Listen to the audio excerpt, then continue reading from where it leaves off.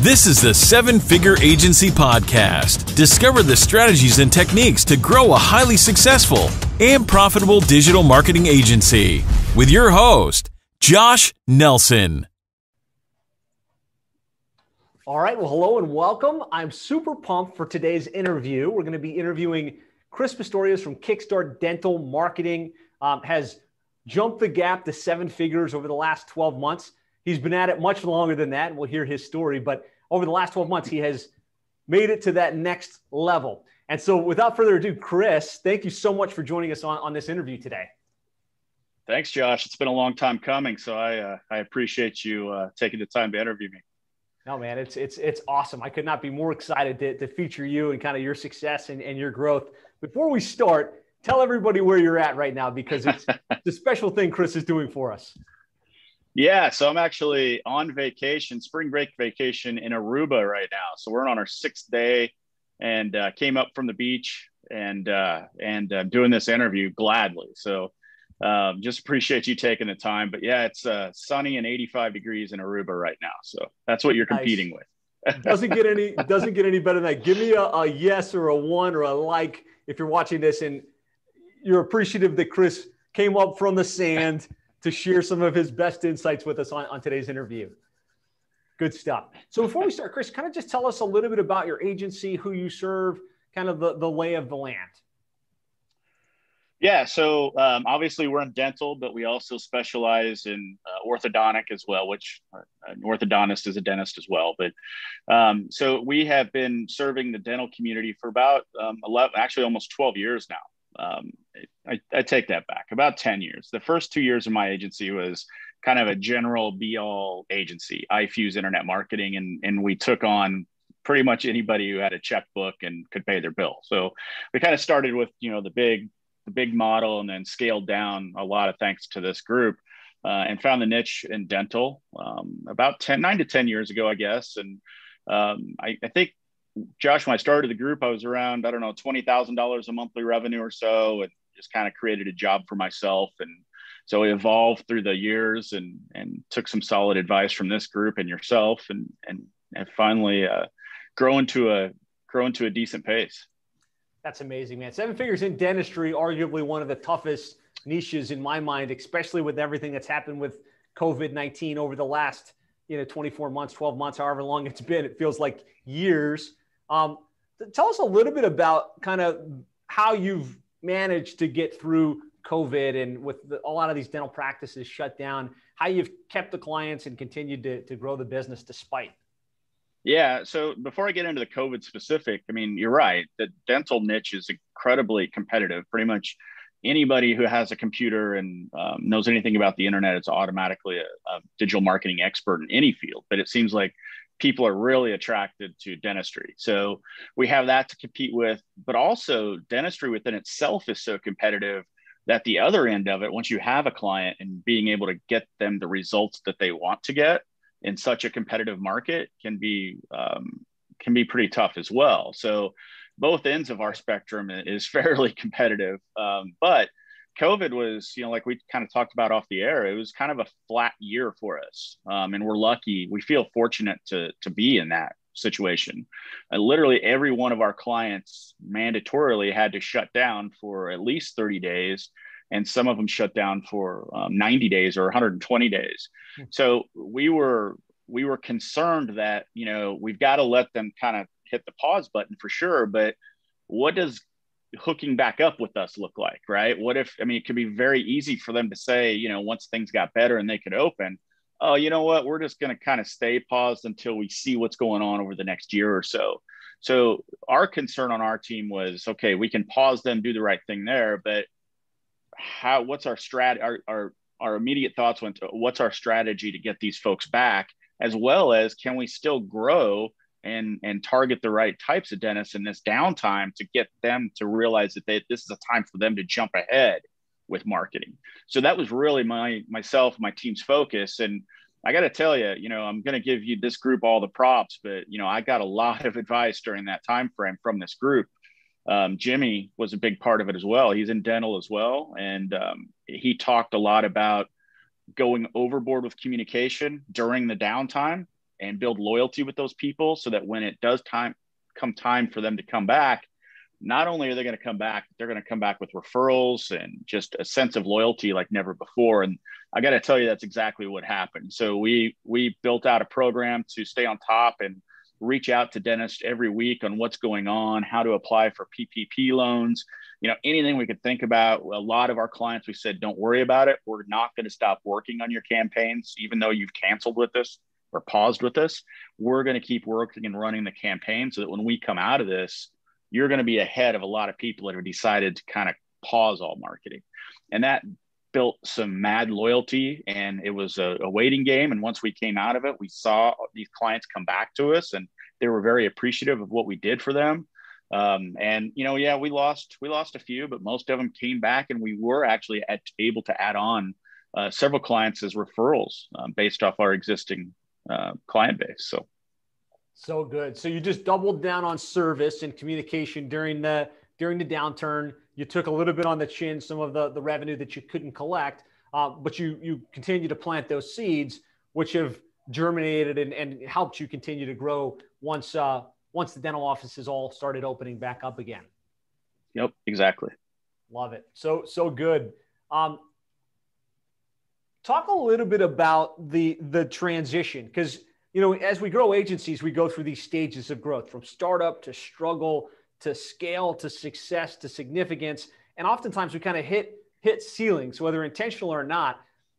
Talk a little bit about how you made it through that plateau of that like that that transition from scale where you've got a team and you've got revenue all the way through to 83,000 or more in monthly recurring revenue yeah, it, it was tough. And I, I think that honestly, that's been for me anyway, the toughest part of business. Cause like I said, when we first, or when I first started, all I did was create a job for myself. I didn't know what I was doing. I just knew a lot about marketing. I was good at sales and um, I got some clients and, and I started just doing everything myself.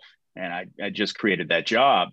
What was hard for me was letting go and hiring people number one. Hiring is hard. It was the hardest thing for me to do and it honestly is continues to be the hardest thing for me in finding people training people um, keeping people that kind of stuff. But the big part of that was letting go of okay i'm not the one that's going to do the seo anymore or i'm not the one that's going to take care of the client.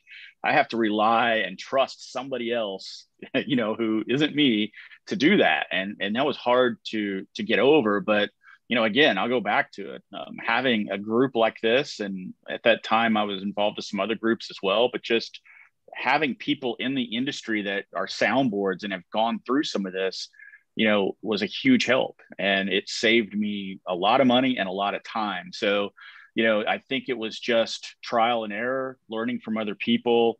Um, and then just kind of doing a timeout meeting with myself and saying, "Hey, dude, you gotta, in order to get to the next level, you've got to get some help." And you've got to be able to trust the people that you hire.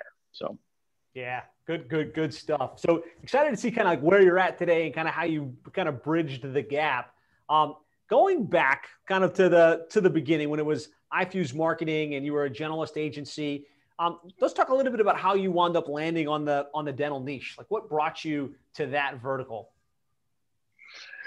Yeah, well, I wish I had some really cool creative story about this, but it was honestly at the time, I, I realized pretty quickly that look, every time we bring on an auto repair shop or an attorney or somebody else like that, we've got to learn the industry, we've got to learn the lingo and what works, what doesn't. And sometimes by the time we're able to do that, it's too late and we've lost a client. We lost a lot of clients back then because of that. Um, so we, I just kind of looked at the books and I was like, look, we got like six dentists already. They pay their bills on time. They're fairly easy to work with um, and we're getting pretty good results with them. They're, they're the longest industry uh, that we were able to retain. So they stayed with us the longest. And I was like, man, there's a lot of people, you know, trying to sell to dentists, and it's not easy because I knew that from previous experience too. And I was like, heck with it. We've got some momentum. Let's let's get some testimonials. Let's you know just run with it and see what happens. And you know, you you remember this. I mean, even I was a year, two, three into it. I'm still saying, Josh, man, there's got to be an easier niche, right? There's got to be a better way to do this. Yeah. And you're the one that talked me out of, you know, kind of dropping dentistry and and keeping keeping the march forward. And so it wasn't like we immediately did it and it was like overnight success. We still had to work at it, build at it, you know, build a name and a brand in the industry and go with it. But yeah, it's it's worked out very well for us.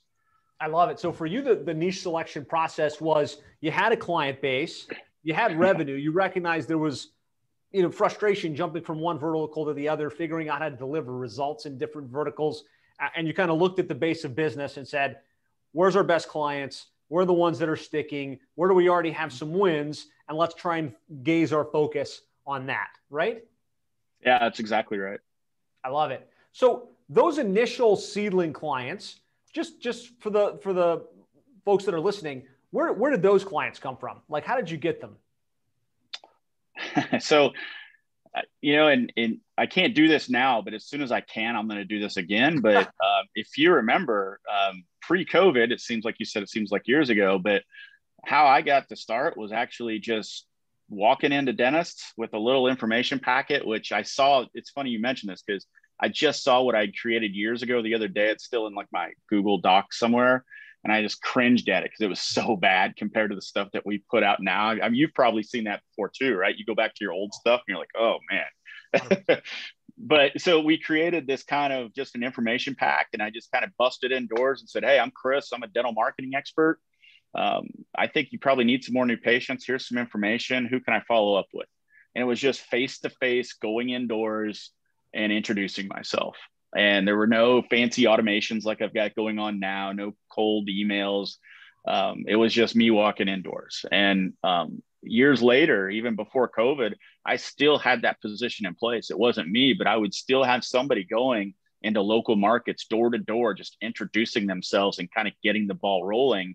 And then I would take that information that they gather, put them into like high level and do automated, um, you know, responses, things like that. But that was still a, a big source of new business for us um, and will be as soon as we can start doing that again uh, post COVID. I love that old school that most people don't yeah. even think about and would, would never dare to do to get into their car, drive to a place of business, and, and do some straight up door to door prospecting, yep. right? Um, yep. And that was probably where you got, you know, what would you say, like 20 or 30% of your clients early on, maybe even more? More than that early on. Um, and then before COVID, probably 20% of our new clients were coming that way. Um, it's just, it's what I knew, right? It's the industry that I came from, and that's how we always did things. And it doesn't work for every industry because, you know, sometimes you've only got, you know, whatever industry you're in, you may only have two or three of them in a city, right? Yep. But I mean, it's it was to the point right before COVID where not only was I going to do it locally, I'm in the Denver metro area. So basically, we try to work with one practice in each market. So I mean, there's tons of little markets around Denver, but it was getting to the point where I was going to hire these people in other markets and test that to see if I could get that same type of response. So it's very effective. It really is. So that would be like cold cold canvassing, right? That's right. Would say, well, that th- wouldn't work because the dentist is behind the chair, and you can never get the dentist's attention. And You got to sell to the dentist. How do how do you get the attention of the right person dropping in at the office? Just curious, kind of like talk the talk the listeners through this through this angle and give me a one if you want to hear how Chris makes this work in his agency. yeah, so you know it's it's uh, a lot of ones I see popping up, so yeah. that's a good thing, right? Yes, they they want to hear. There's no twos, so that's good. Yeah, but no, um, you know it's think of it as being a cold email on steroids, right? I mean, if you're in dental or anywhere in healthcare, you know that you need to get to the doctor, but you know that typically you're going to get an email address not to the doctor. You're going to get one to the front desk. So we knew this going in. We're not going to talk to the dentist. So we always go after the office manager. So the person that does this has a list of, it's kind of like the Dream 100, right? So we take that list of ones that we want to work with locally and we have them do the research the day before of who they're going to go see that day and maybe it's 25 different practices and they look on the website of who's in charge. You know we know the doctor we need to know the office manager. And so when they walk in they know the names of the people that they need to contact. So it's a very personalized cold email if you will. Um, and we always have a little tchotchke. We give away candy or you know something for the front desk. They love that. Just kind of break the ice. And the only we're not trying to sell them. All we're trying to do is introduce ourselves to them and get the best contact information we possibly can from them, which enables us to follow up with text message, if usually not text message, honestly, but mostly email and pick up the phone and call and just say, hey, we were in your office last Wednesday. Just being able to say that, like we were physically in your office the week before, puts you miles above your competition, the guys that are sending just solely cold emails or whatever it may be. So it definitely has given us a leg up. So it's um it's a coordinated approach, right? You don't just start dropping in and think the dentist is going to sign on the dot, right? It's you go to the office, you know who the office manager is, you've got something to leave behind, and you're using that to soften the beach so that you can call and have a higher probability of getting through because you were physically there and you kind of tapped into the power of reciprocity by leaving something behind. Mm-hmm. Absolutely. You're looking for them to raise their hand, right? What we talk about in the group all the time. If, if we can get, you know, two people to raise their hand during that eight hour shift, we're in really good shape, right? Because it's a, it's a numbers game. And you'd be surprised how many people have, have said, you know what, we were kind of looking into doing something with our website, or we, we are looking to do something with, with marketing. I'm glad you came in. So sometimes you hit those people at just the right time you know it's not about the you know the 30 people you go see that day that say no it's about the one or two that say yes and that's what you've got to be able to stay focused on yeah yeah some will some won't so what yeah. and really this plays you're trying to catch the people that are in the in the change phase in their in their buying decision um, i like how you were able to take this from something early that you did which was very time consuming and, and like low leverage to something you were able to put someone in place to do was that a full-time job was that like part time as they had time? Like, how did you structure that role? I'm just curious. Yeah, so um, I tried to target very successful people that were just either out of a job or they just had kids and they're home with their kids and they wanted a part time job.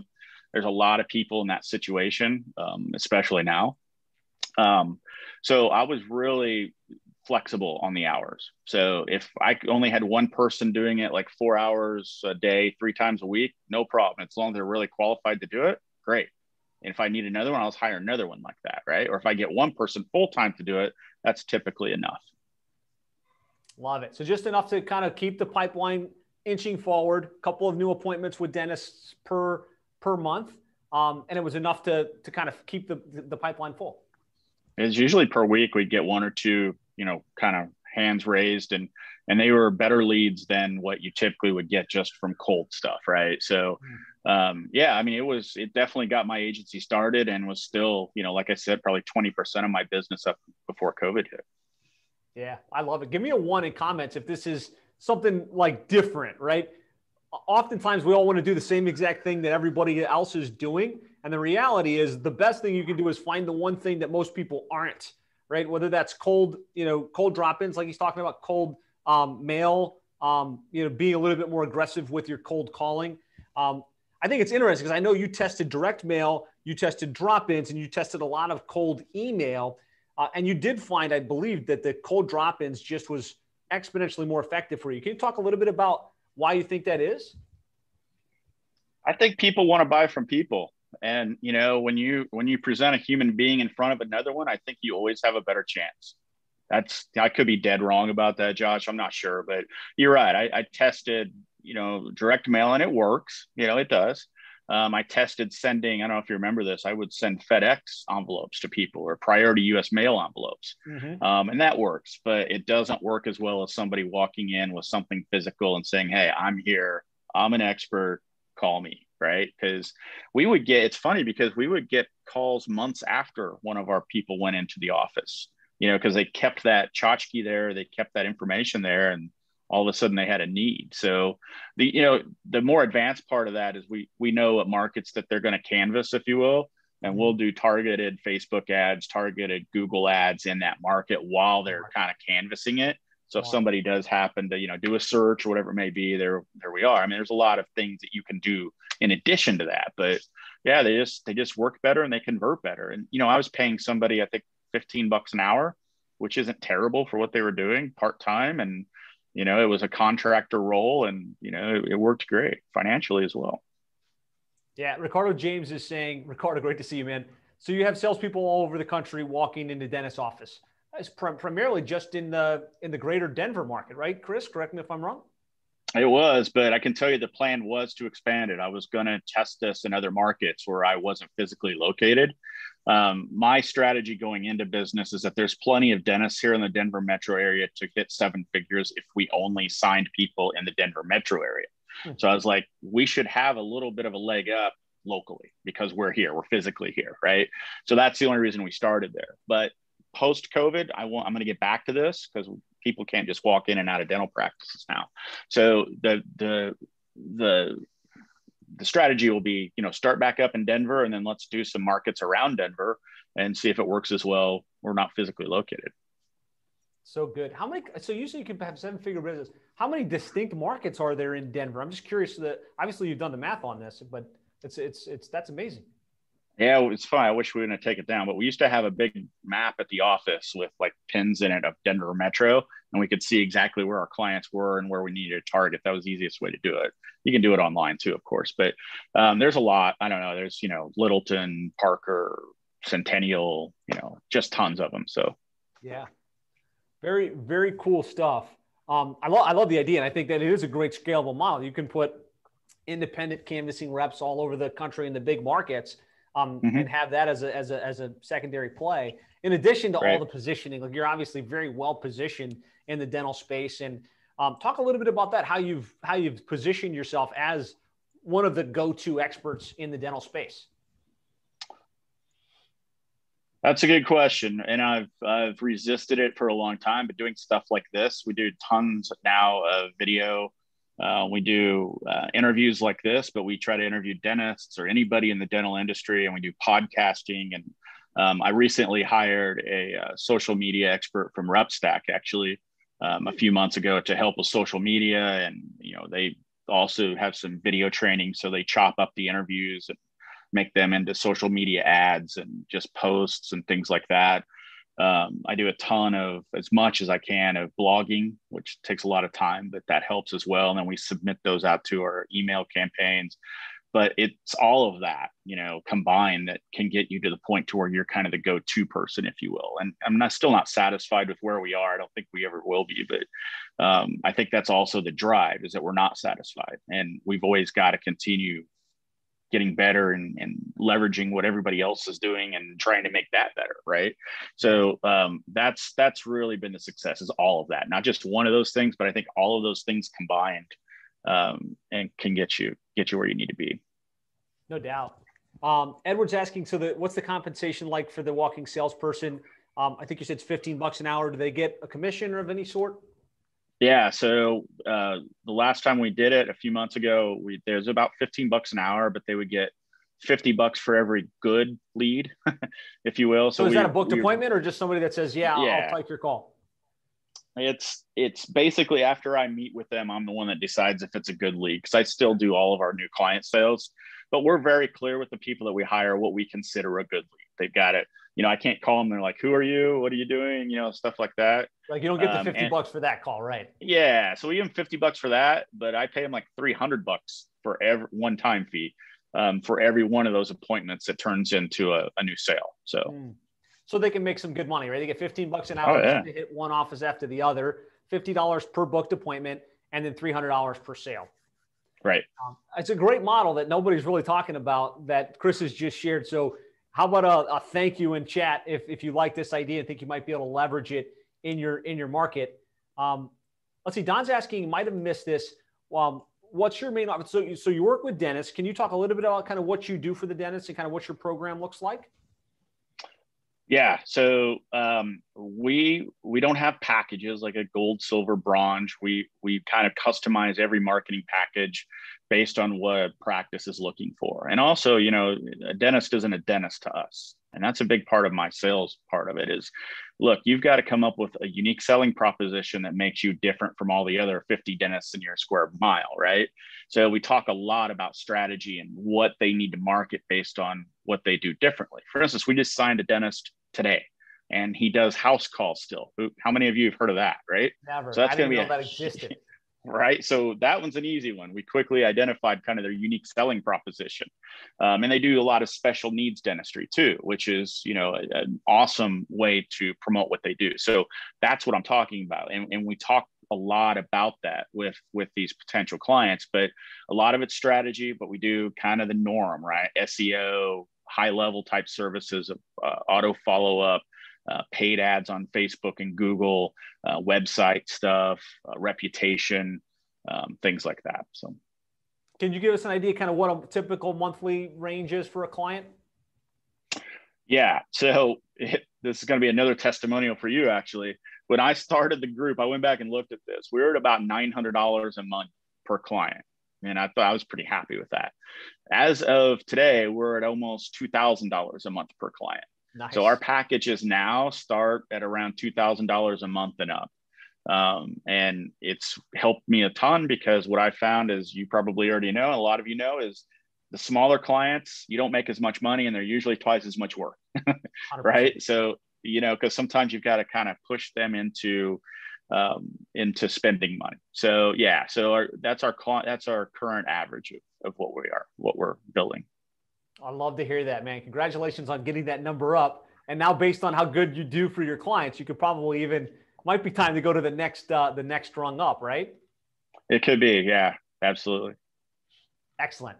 So okay, so we've got a we've got dentists. We're landing them through positioning. We're landing them through kind of foot in the door strategies. Um, let's talk a little bit about retention because that's one of the hardest parts of this mm-hmm. whole business, right? It's one thing to sell a lot of dentists. It's another thing to deliver the goods. It's a whole nother thing to retain them. Just talk to me about some of the things you've done to to keep your arms around the clients and keep them on board long term. Yeah, I'm glad you brought this up. This is something else that I struggled with early on. Is I'm pretty good at getting clients, but I am not good at, at taking care of them. It's not my strong suit. And one of the best hires I ever made was my very first kind of client success manager, we call them. And that's somebody that does nothing but take care of the client. They're the first line of defense. And it was the best hire I ever made. Um, her name was Jennifer. That's been a few years now.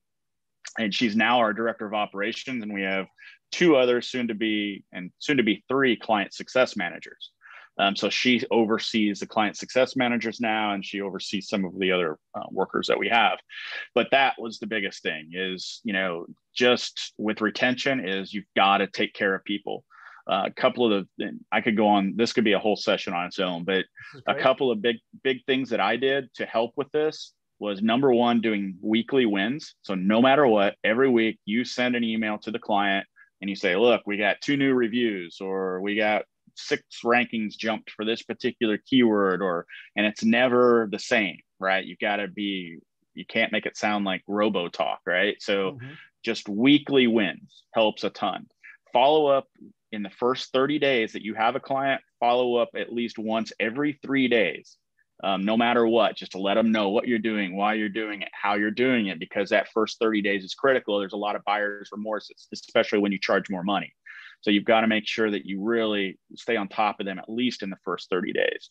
And be religious about getting people to show up for um, monthly meetings to go over results. And and have some sort of automated list of people who aren't showing up that pops up and you know you need to follow up with them to make sure everything's okay. So what you're probably hearing my theme is communicate with these clients because if you don't somebody else is going to and it's so easy these days for competitors to come in and talk a great game and, and talk is cheap and, and steal them away. Um, the other thing that I will tell you. Uh, Hold on, pause there. Some powerful oh, insights there, guys. I hope you're taking yeah. notes on this. He shared some great, great insights. The number one reason your client's going to leave is perceived indifference. There's nobody yep. that's being attacked more than dentists. And so Chris has had to be very aggressive. He's talking about touching them three every three days during the launch process and then every week dropping a win. Is that an email somebody's asking, or is that a call, or how do you drop that win on them? Usually an email. We've got a template set up, but it's mostly customized because we take extra time for this part of it. Love it. If you like, press a one in, in chat here. If you if you're getting value from these insights on retention, keep going. I know you were about to say something else, but I, I definitely want to hear uh, what you were going to talk about next. Yeah, it's brand new. Actually, well, we're into the first quarter of it, um, and I want to just like the big asterisk here is this will not scale, but for a as agency my size, it's worked extremely well. At the end, mark knock on wood, wherever there's some wood here. At the end of this month will be the first quarter we've not lost any clients at all. Wow. Okay, so ever. And the reason for that, I think, is that I rolled out in January a bonus plan to basically everybody on the team um, that based on client retention. So it's basically set up in three tiers. If they retain between 100% and I think 96%, they get this percent bonus on top of their salary. And then B and C tiers. um, after doing some calculations, I realized that I could make a lot of more money, even paying the bonus, if we can retain those clients, right? So that has seemed to gone over really well. I'm gonna if we continue to grow and I continue to bring on employees, I'm gonna have to adjust it. But based on you know three client success managers, a director of operations, website person, social media person, I don't know six or seven of us, I guess it works very well. But once we scale to a lot more employees, it'll have to be changed. But do something to bonus employees on performance and on retention. It, it seems to help. I love that idea of kind of bonusing down the ranks. Usually, when we think about bonuses, we think about the sales guy getting a bonus. We think about the account manager maybe getting a bonus, uh, but the guy building the website, the guy writing the content, the guy you know doing the SEO, for instance, if you give him a little incentive, then the whole team is all hands on deck. Let's let's make sure these clients are getting the best experience, they're getting the best results, and that we're doing everything we can because we want that we want the clients to win, but there's also a little something in it for us as the as the member of the team. Um, great share. I love that idea. And working, yeah. apparently, you get a 100% retention thus far this quarter. I'm going to knock on a little bit yeah. more there. All right. Yeah, it's it's working well, and I think it continue will continually will work. So good. Great, great retention tips there. So let's talk a little bit about scale. You know, we got a seven figure agency now, and obviously what got you to do six figures is different than what gets you to multiple six figures, which is different than gets you to seven. You talked about some of the key hires along the way. Um, what would you say was the first position that you removed yourself from, and how did you fill that role? It was the it was the uh, kind of account manager or client success manager for sure. Um, and you know it was it was the most critical. And for me it was the most important to do that first because i think as a business owner you've got to look at what you're not good at um, and fill that the quickest right? As long as it makes sense. But for me it was somebody needs to come in and nurture and take care of these clients. Because i'm kind of the person where somebody complains about our service or whatever i, I almost sometimes will get because it's my baby sometimes i'll get a little defensive Right. You don't want to do that, right? That's like the opposite of what you want to do. So that's why I hired that. My second hire, will though, was a director of operations. Okay, and that's the person that's taking care and running kind of the day to day stuff. Very rarely now am I involved in anything day to day. The only thing that I do and can concentrate on most of the time is new new business bringing in new business doing interviews like this partnering up with you know whoever i can to, to try to to to forge relationships with. So Jennifer, our director of operations, basically is like running the company day to day, almost like a COO, I guess. Mm-hmm. Um, and that was that was critical. I love it. Yeah, and that's usually that's usually the path, right? The first thing you want to probably get yourself out of is either operations or client services. Yep. And right. then as you grow, it's like, what else can I remove myself from?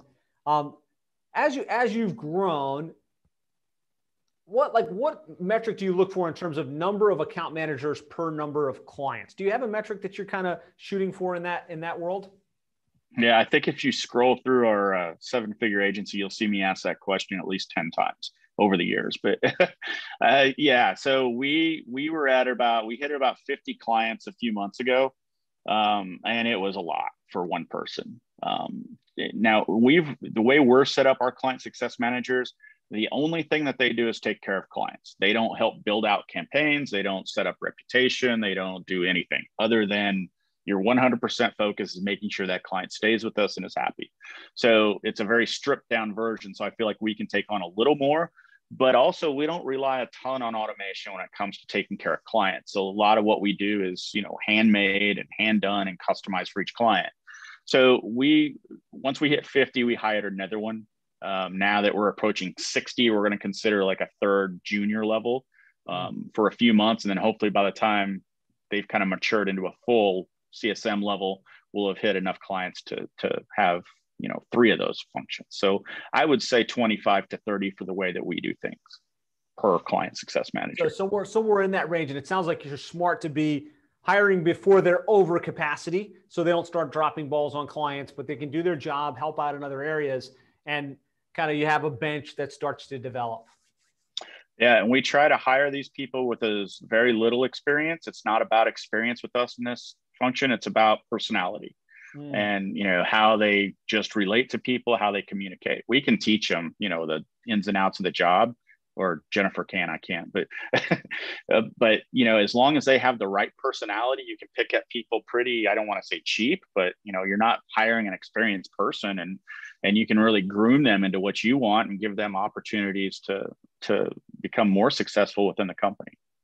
Love it. Yeah. That's been our experience as well. Hire for attitude, train for aptitude, right? Train them up to do the job. Um, it's more cost effective. And like you said, you can kind of control how they, how they behave and how they interact. Being that this is such a critical role and something that, that's, I think, integral to your growth, where have you found your account managers and what kind of things have you looked for in a good account manager in your in your agency? Yeah, I think you know we we go through the the Kolbe Is it the Kolbe test? Is that right? Yep. Yeah, kind of the personality test. We use that. We don't use it as a okay. They didn't come back correct, so we're just going to axe them. It, mm-hmm. It's more of a guide for us than anything but we have seen patterns that we wind up hiring people who do well in the Kolbe test. But we put them through um, scenarios. So once we interview them and they kind of get further through the process, Jennifer will actually give them and send them three or four different client scenarios. And it has nothing to do with like knowing digital marketing or technical stuff. It's how to handle people. And so we'll say if client XYZ is, is mad about this, then how would you handle that? What would you do? And we actually have them do this for us in a Zoom call after they've studied a little bit. And we look and and look for patterns of how they communicate, how they just kind of give themselves off, if you will, their attitudes, things like that. Um, and that's helped us probably more than anything, just doing that.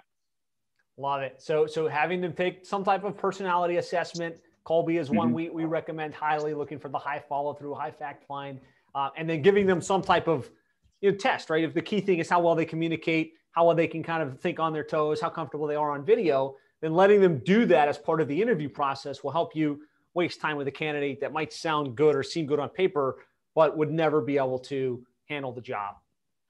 Yeah, exactly. It just puts them in a scenario. I mean, everybody has, you know, has an agency has common scenarios that they get all the time, the same things. Like I never see my ad on on Google or you know whatever it may be, and we just do two or three of those scenarios, have them study a little bit, and you know, have them play it out with us on Zoom. Love it. Give me a one if you can use that as you start to grow and start thinking about, man, I need to remove myself from operations. I need to remove myself from account management. You know, just some good logical thought around how to attract those kinds of people and and train them up within the role. Don's asking for your your client success managers. Are they U.S. based? Are they international? What's the story there? Yeah, they are US based and they're actual full time employees, not contractors or anything like that. We found I've tested both. Um, and I know some of you have been wildly successful with using contractors and you know overseas people for even this role, but it just didn't work for us. So we found that it works better US based and, and full time employees versus contractors. 100%. My, my preference as well. You want people that are dealing with your, your client and having those one to one conversations I think you want someone US based and fully dedicated to your to your company. Did you start that way, or did you maybe have someone part time and kind of graduate them to full time, where you came right out of the gates? I've got enough clients. Here's my full time account manager. Yeah, I handled it for the longest time, um, which were the worst retention rates on record. and then I I hired a contractor first, um, actually it was a friend of my wife's is who i hired to do it. And she did a great job and she was a contractor and she was with me for several years and then she moved on and um, we got a little more serious about the business and more revenue was coming in so we got a little more formal and, and went through a full-time employee process and, and went that direction. But yeah i mean none of this stuff is like i started out you know full-time employees with $10000 a monthly revenue. You got to gradually kind of go into it and, and just know when it makes sense to do it 100%. And, and he says that retention was bad when he was in charge of it. And I chuckle because it was bad when, when I was in charge of it. The yeah. reality is, as the agency owner, we're high, high quick start individuals. And so we like to start things and we want to run to the next. Being an account manager requires you to follow up and follow through and make those calls and have those tough conversations, which probably isn't your strength. And you don't need to feel guilty about that. Like this is something you need to remove yourself from and put someone that can play at that kind of role. And those people exist. Chris's firsthand, like how much better were your account managers, even though they were just low level trained, than than you were just because of that natural desire to talk and walk people through things. Uh, it's night and day. I mean, I'm just not that person. And, you know, there's people that, you know, who really excel on taking care of others and making sure they're happy and following through with things. I mean, I got to the point where my office was just sticky notes everywhere on on I was going through so many different ways on how do I remember to follow up and it, I'm just not good at it. So, you know, it's just there are people out there that are and God bless them and they're the only reasons that I have a business, honestly. 100%. Great insight. Hopefully that's empowering for you if you're listening to this. You know, put empowering if comments if just just knowing that you don't have to necessarily hold on to that or feel bad that you're not great at the client relationship side of the equation. Um, Edward and and Daniel are asking about compensation for a client success manager. Can you give a range kind of what you started at for, for those types of roles?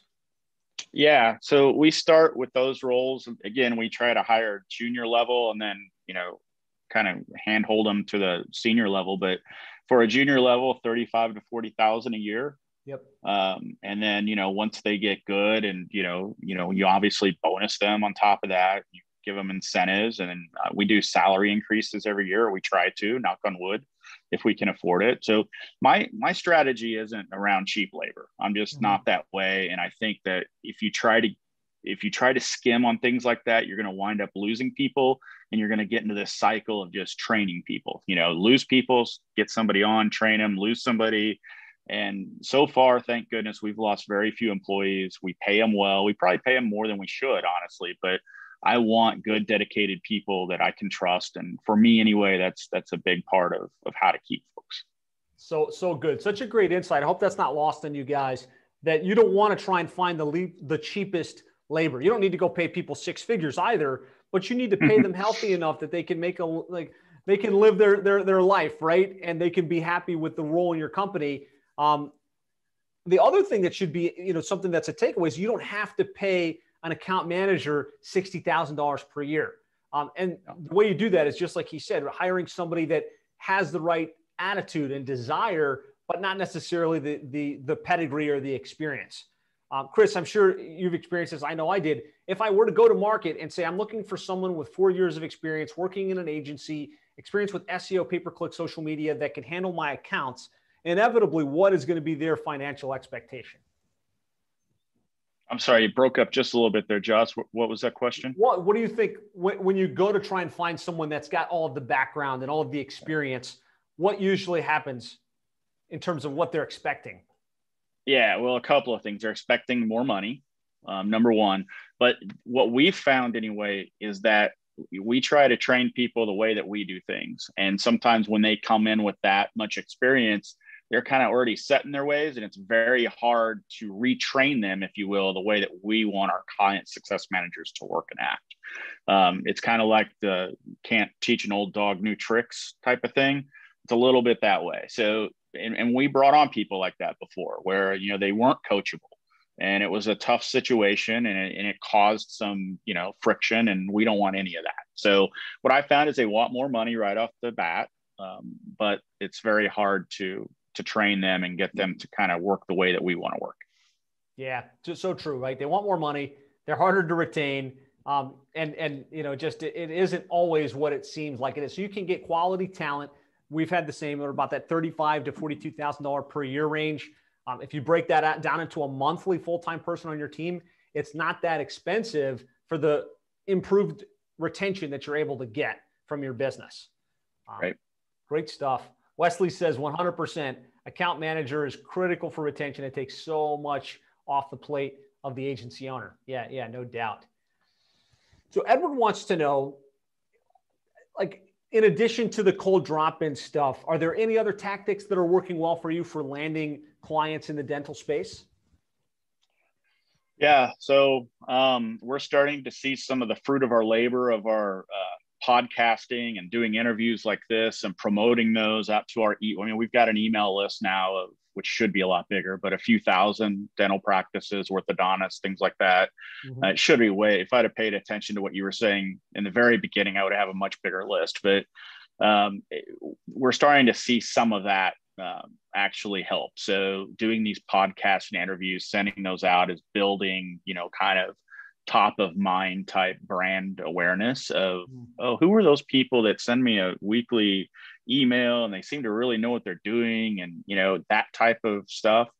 Um, but we do we do everything. So there's um, some lists that i'm on. Like if you do um, you know if you search for something like dental marketing company or top dental marketing companies. Um, you'll find us on almost every list, top 10 list that there is. Nice. Um, I started very early getting involved with those people, building relationships, and have slowly built, you know, some top placements on those.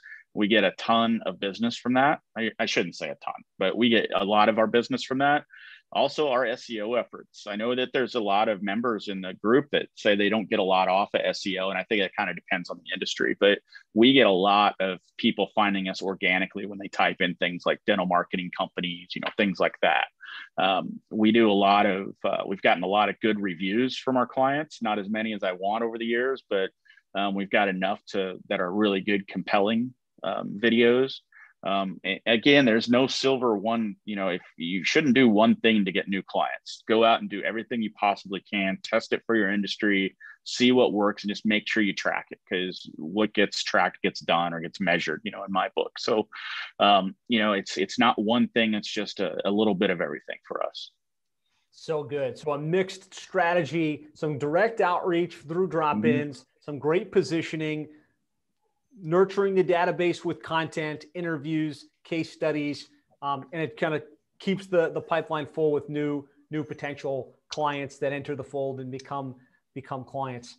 Yeah, you, I'm sorry to interrupt you, Josh, but one other thing that, that we did, you know, I think at the last live intensive was we talked a lot about the case studies and how to make videos out of those. Mm. If you go to our website on kickstartdental.com and kind of scroll down to the middle page or so, you'll see where we did some of those uh, we used VideoAsk to nice. actually record um, that process, and we've got three or four, I think, yeah. um, actual um, clients that did that for us. It's kind of hard to get them to talk talk them into it at some points, but yeah. that just you know that that's a that's a huge one for us because people can see a dentist, you know, that's going through the same things they probably are, and you know talking about that and how good and how much we help them. I mean, that's just like pure gold in marketing. So that's a biggie.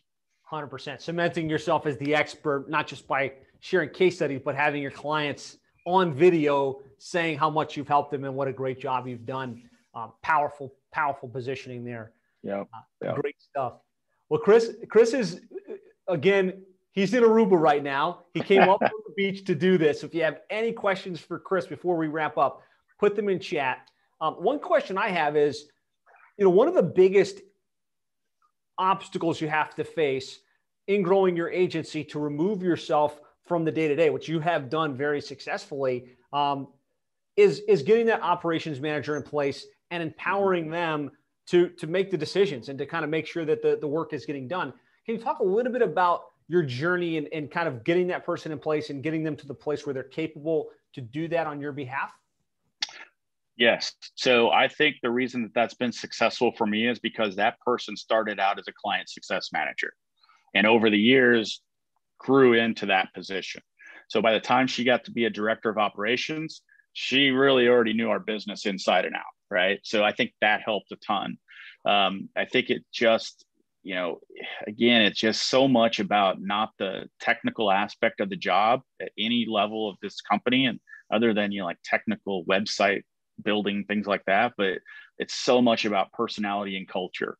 Just finding the right person it's about you knowing what type of person it's going to take to fill that position and then finding them right? So uh, you can teach them your business you can teach them just about anything you you want to but you can't teach attitude you can't teach caring you can't teach compassion none of that stuff. And if you can find that type of person you'll be able to teach them the rest. Love it so if nothing else, it's it's empowering to know that it is possible to nurture people to that place, and you can find someone that's better at managing the day to day than you are. Right? Suffice it to say, Chris. Right. Awesome. Somebody here is asking, uh, Laney. I think I apologize if I'm saying this wrong. The name of the social media service you were talking about earlier. I think you're talking about uh, your RepStack VA. Yeah, yeah. Can you just talk about a little bit about in the in the seven figure agency we've been talking a lot about getting a VA, getting them trained up, getting them onboarded to, to give you an extra pair of hands for your own marketing and positioning work. Can you talk a little bit about what you have your VA doing there? Yeah, we've actually got two folks from RepStack. Fact, I think we were one of the first ones to to bring people on. I know um, we really talked to them at the last live intensive, is where that relationship started a few months ago. So um, I quickly identified that. Okay, cool. So there, I'm tr- always looking for. So let me back up just a little bit. Our agency is mostly U.S. based employees, um, but we do have spots where we believe that overseas folks can have a huge impact, and they have. So what I was what I've always had a problem with is finding overseas people to trust. And you know, we've gone through over the years a lot of overseas people that will hire some, they never show up for work, or we hire some and they go through training and then they don't show up for work, or we hire people, they show up for work for three months and then they don't show up. Just a hodgepodge of, of failures there. But once I found that there was somebody in our group in seven figure agency that understands our program and they're starting this company that's going to actually hire and train people to work like we do you know that's obviously a, a big positive for us. So i was like yeah i raised my hand and i said let's go for it. So we hired one person to do so we have somebody on our team that does nothing but listen to phone calls hmm. okay? And they listen to all of these client lead phone calls that come in. And then they use our software to disposition those calls. Were they good leads? Were they not? You know what were the names of the good leads? And they type them in there just kind of show that funnel in HighLevel for instance yep. so we hired one person to do that she's been awesome and you know that's that's a big need for us um, we hired another one as my marketing assistant who does nothing but do social media posts for us promotes those posts she does video editing so like interviews like this that we do and podcasts She'll chop those up into social media posts, boost them. Um, she's in charge of our whole social media um, strategy. She also does sales proposals for me. So hmm. she will actually, um, you know, I'll say, hey, we've got somebody that raised their hand. We need a proposal done by Thursday. I trained her how to do that. She puts it together and then I review it and kind of make last minute edits to it. Um, also, um, I'm sorry, let me back up a little bit. Our first VA, um, she does the she listens to all the phone calls that come in she also uh, validates lists for us so like we work off the dream 100 so i'll send her a couple hundred records in an excel spreadsheet and she'll actually physically call in go to people's websites and make sure that we have the right contact person we have the best email address we have the right phone number just to validate the data that we have so that then she submits it to me and i call on it and put it into HighLevel things like that. So they do a lot for us, and I think that those are uh, especially two positions that you can hire overseas for, mm-hmm. um, and it's so far worked very well for us. So good. Thank you for sharing. Put a put a yes in comments if you've gotten a lot of takeaways from Chris's interview here. Lots of great insights, lots of great great feedback. Thank you so much for sharing. Congratulations on your on your success on, on making it you know to the seven figure significance level. Um, I have an award headed your way, which I'm excited to get into your hands. So um, stay tuned for that. Any awesome. last words of wisdom you'd have for the agencies that are you know just just pressing forward, trying to figure out how to get to the next level?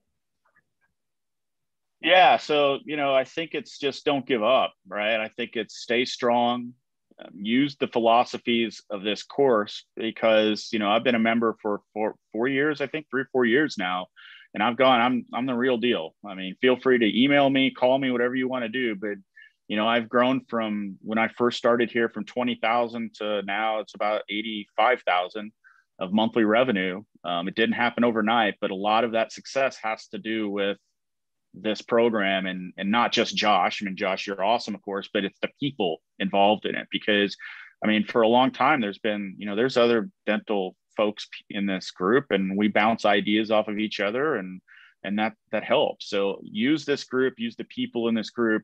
Um, don't give up and you know just pay attention. You know there's a lot of it's not about sitting back and waiting for something to happen. It's about you creating opportunity and being aggressive in the marketplace. And, you know, it's, I think, a combination of those things and, and you'll be successful. I love that. Great, great insights, great feedback. Go and enjoy Aruba. Thank you so much for taking the time. Um, if you have questions, follow up questions for Chris, he's in the members group. Feel free to tag him in. Um, he's when he's not in Aruba, he's extremely helpful. when he's on Facebook, because he's not the most active, right? You would say you're probably not the most active on Facebook. Yeah, probably not, but you know, it's just reach out to me. Just send me a direct message, and I'll I'll I'll definitely uh, hook up with you, and we'll figure out any questions that you might have. Awesome, man. You rock. Thanks again for taking the time. We'll talk to you again soon. Be sure to okay. tag Chris and thank him for sharing and congratulate him on his uh, his success. All right, guys. We'll talk to you later.